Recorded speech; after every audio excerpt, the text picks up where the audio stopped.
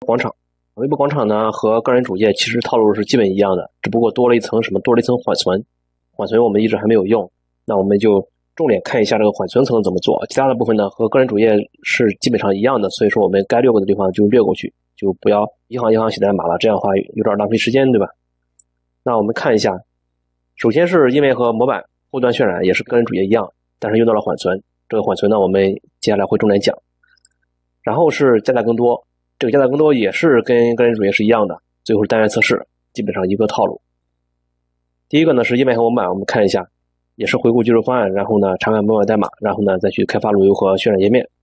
那我们就看一下这个界面，这个界面其实也是我们之前回顾的，我们要关注三个部分。第一个部分是路由，这个 Square 这个路由，然后第二个部分呢是这个微博列表这块，我们要后端渲染这块，跟我们刚讲完的这个个人主页是完全一样的。然后后面加载更多，加载更多需要一个路由，就是 API Square，然后 load mode。后面只有一个 page index 这个参数，user name 这个参数就没有了，因为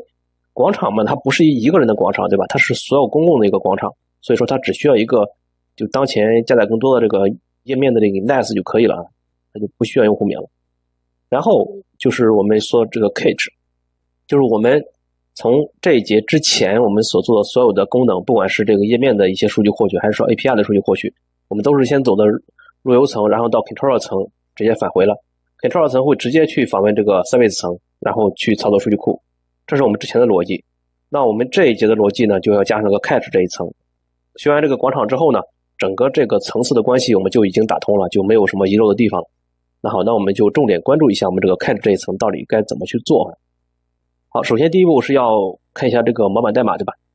那我这儿呢，就直接从 master 上直接去新建了一个分支，叫做 future square。这个分支下面呢，我直接去新建了几个文件，然后我们看一下我们建的这些文件这些改动。第一个就是我建了一个 Square 点 EGS 的这么一个模板。之所以新建完之后，是因为这个模板和我们上一节讲的这个个人主义的模板完全一样，而且是少了一些东西，因为这个模板只有左侧，没有右侧，就是没有个人信息这一块，只有左侧。然后前面是一个微博列表，然后加载更多，跟之前是一样的。加载更多这一部分有一个不一样的地方，就是说我们传的这个 API 应该是这个 API Square load mode，应该是我们自己的这个广场的这个 load mode。然后呢，其他的地方都是一样的，逻辑也是一样的，就整交互逻辑都是完全一样的。然后这个模板建完之后呢，我们在这个 routes 就是路由这个 view block 下面呢，我们建了一个渲染广场页的路由。渲染广场页的路由呢，比这个个人主义的路由还要简单，因为它只是需要获取一个广场的微博列表。传入一个第一页嘛，第一页它要传入一个 page index 是零，这其实不传也可以。然后获取了这个数据，这些数据跟我们刚才获取个人主页的这个数据是完全，就这个地方是完全一样的。啊，完事之后呢，我们就直接去渲染页面就可以了啊。这个格式和我们刚才个人主页的这个格式也是完全一样的，所以说这个地方呢，我们就不会一行一行去写了，完全是一样的。不一样的地方就在于说。这个函数我们要重新写，这个函数是在 controller 里面的。controller 我们建了一个 blog square 点 js 这么一个文件，这个文件其实我只是定义了这么一个函数而已，其他的地方都没有写。我们会从这个函数开始写啊，开始写是这部分是我们课程的重点啊。另外这些已经新建的呢，就不是课程的重点啊，至少不是本节的重点。然后加载更多，加载更多也需要这么一个 API，然后我是在这个。路由的 API 文件夹下面建了一个叫 blog square 点 js 这么一个文件，然后这个文件里面呢，加载更多和个人主页的加载更多是完全一样的，我们可以看一下，这是个人主页加载更多是这么一个逻辑，然后广场加载更多也是这么一个逻辑，不一样的地方就在于它也是需要从这个 controller blog square 就从这个 controller 里面我们去把这个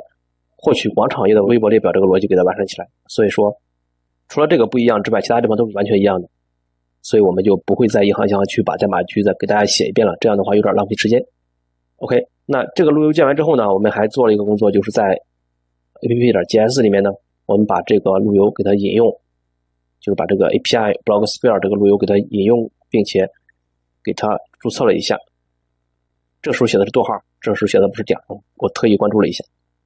OK，那接下来呢，我们要做的工作呢，就是我们把这个 controller 里面这个路由给做起来。也就是为什么这个地方要重启呢？因为这个地方我们